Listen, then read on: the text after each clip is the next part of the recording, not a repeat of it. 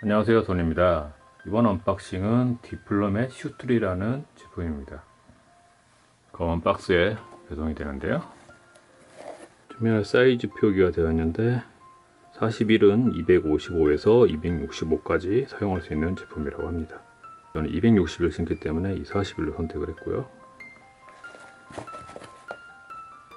측면에 일본어로 설명이 되어 있네요 이 박스를 개봉했을 때 보면 그 기름 얼룩 같은 게 보이는데 이게 불량은 아니고요.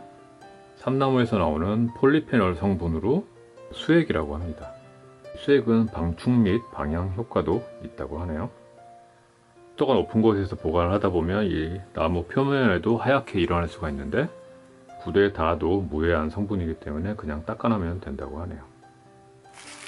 삼나무로 만들었다고 하고요 뒤쪽에 금색으로 된 장식은 빼낼 때 쓰는 손잡이고 중간에 관절은 이렇게 휘어지게끔 되어 있으며 스프링으로 길이 조절도 가능합니다. 그리고 발볼도 역시 중간에 스프링이 있어서 약간의 이렇게 조절은 가능하고 더 넓히려면 측면에 볼트를 풀어주면 됩니다. 양쪽 모양은 방향이 다르게 좌우로 만들어져 있습니다.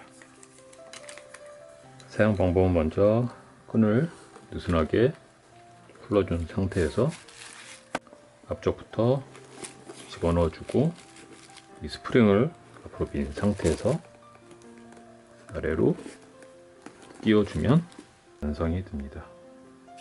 260 사이즈인데 아주 딱 맞는 걸 볼 수가 있습니다.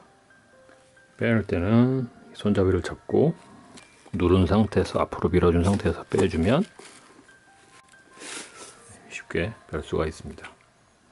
이상 디플로멧 쌈나무 슈트리의 간단한 리뷰였고요.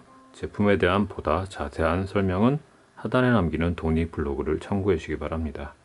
영상이 유용하셨다면 좋아요, 구독 부탁드리고요. 궁금하신 점은 하단에 댓글 남겨주시기 바랍니다. 감사합니다.